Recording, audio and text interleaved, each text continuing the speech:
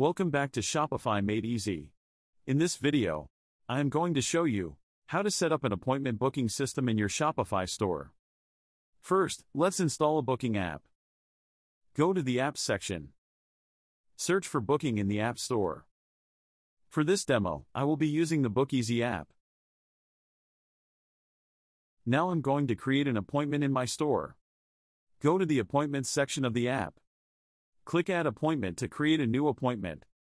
If you want to add multiple products for your appointment, choose Select Product option.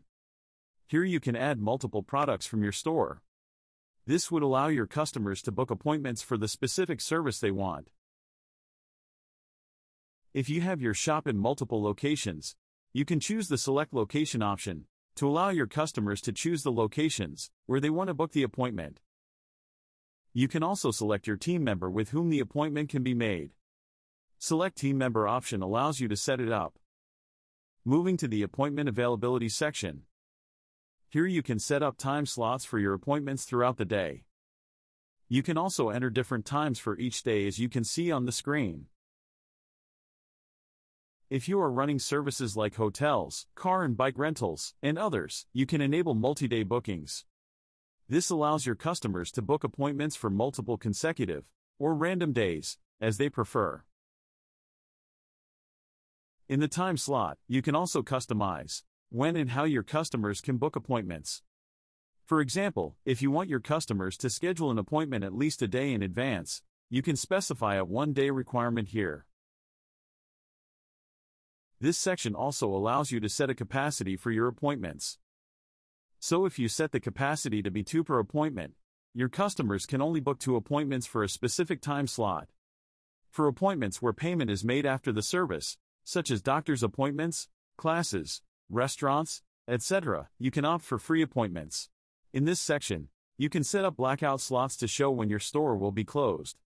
Like on Christmas or when you take a vacation, or other holidays. Your customers will not be able to book appointments on those dates.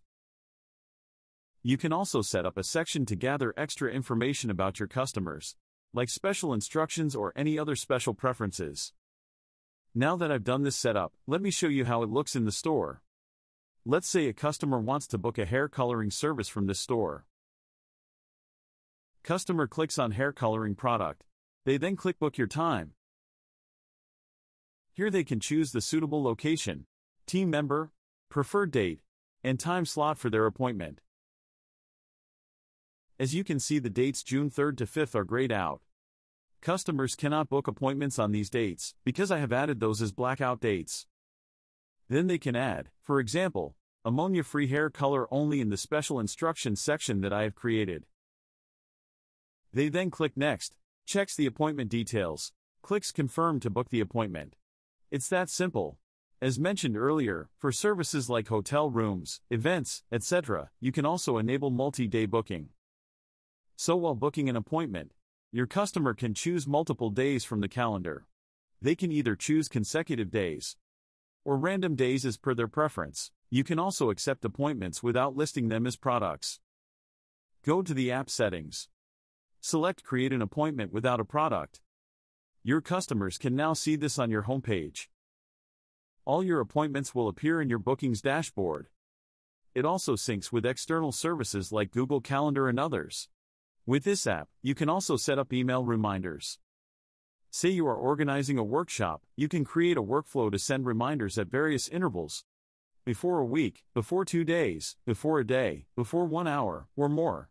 Choose the reminders based on your preference. Hope you found this video informative. If you have any questions, let me know in the comments. I'll answer them. See you soon in the next video.